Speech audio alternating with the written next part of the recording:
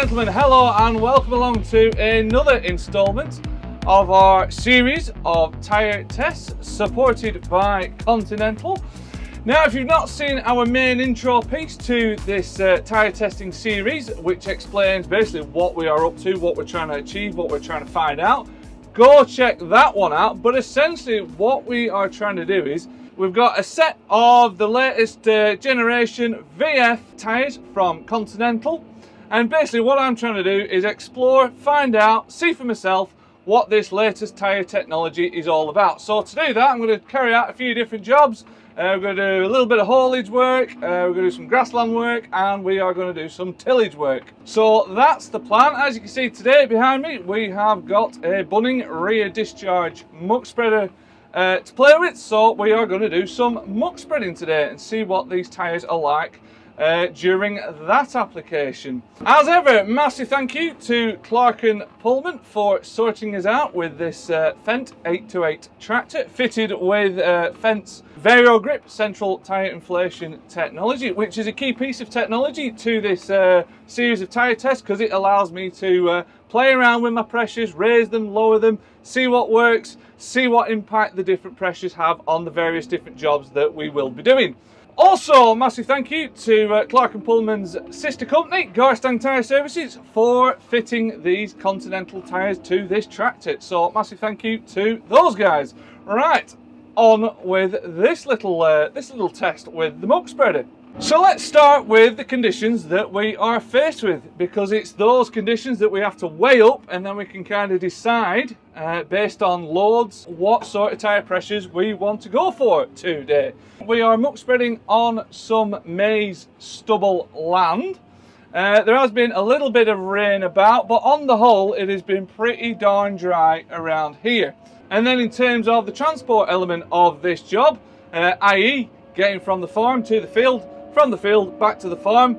We are in a nice ring fenced area. We are just up and down farm tracks. So we've got a nice mix of track work and field work as well. So that's the challenges of this job. Now in terms of priorities, what I want to try and achieve with this job, obviously we want the tyres hard enough for the transport element because we've got a fair, fair weight behind us. Uh, looking at my screen because this uh, spreader has weigh cells on we are ranging from a 9 ton load to an 11 ton load, so we've got a nice bit of uh, weight behind us. So what I don't want, I don't want the tyres too soft, so we're wallowing around, especially at the rear of the tractor. We don't want to feel unsafe uh, or anything like that. So we do want the tyres to be hard enough to be stable, but then we've got to think about what we're doing in the field as well.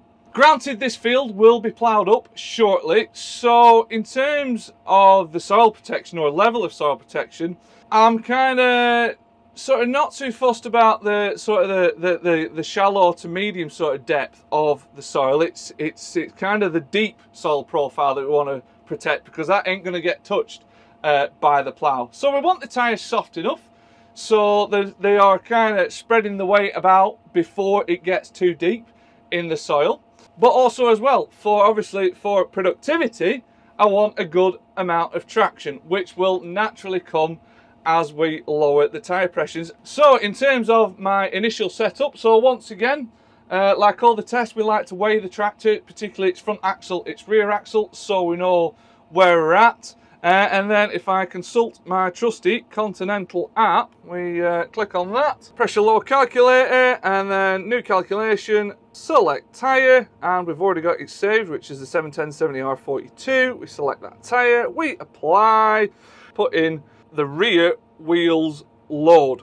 Now, so like I say, it's about six ton across the back axle, plus another sort of three and a half for the spreader, according to the weigh cell. So we have, you know, according to the weigh cells and the weigh scales that we've used in the yard, we've got a rear axle load of about nine and a half ton. So split that in two. So if we go 4960 is one of the options coming up, we'll go 4960. So we'll apply that. Driving speed, we ain't going to be going that fast. So we'll go, we'll go about 30 kilometers per hour as my top speed.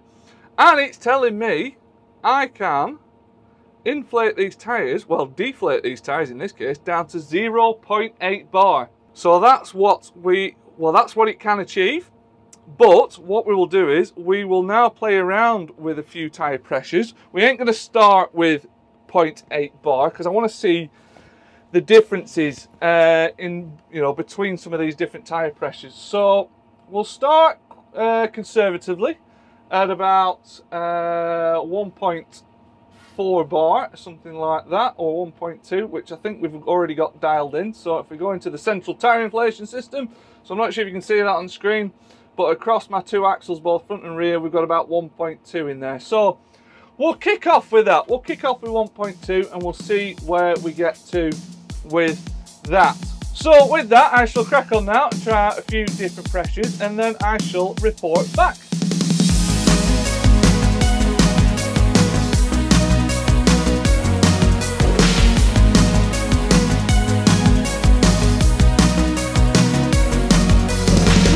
Gents, so the results so far. So I've done quite a few loads today already with uh, this muck spreader and the results, uh, as ever throughout this series, have been just, it's just fascinating to watch. Particularly having the, uh, the Continental sensing tyre technology within the tyres themselves and being able to watch what's actually happening with the tyres in real time on screen, both in terms of pressure and temperature as well. So in terms of tyre temperatures, after quite a few hours work, they're just, yeah, they're just 23 degrees C at the moment. Not to, uh, not a massive change in uh, tyre temperatures today. Not like if you go and watch our, uh, our haulage application video, our haulage job, where we were carting maize with the big forage wagon from Fendt. Because we're not going as fast, we're not going as far either, this is a lot kinder to the tyres in terms of heat build-up. We have got a lot less heat build-up compared to that job. So as a result of the tyre temperature not going up that much today, neither has the pressures. The pressures have uh, barely changed today. So quite a stable sort of range of pressures and temperatures today with this job. So yes, going back to it, uh, we kicked off with 1.2 bar, which is about 17.4 PSI in these tyres. Um, stability is pretty good. Uh, it's one of those, I probably wouldn't want to go too much less, but we'll find out in a little bit. Stability is very good at that. Uh, we also tried them at 1.4 bar, and stability again increased uh, a little bit more, and you could actually feel it in the tractor. However, you could just see a little bit of surface disturbance with the pressures at 1.4 bar, which is 20 psi. You could just see that that little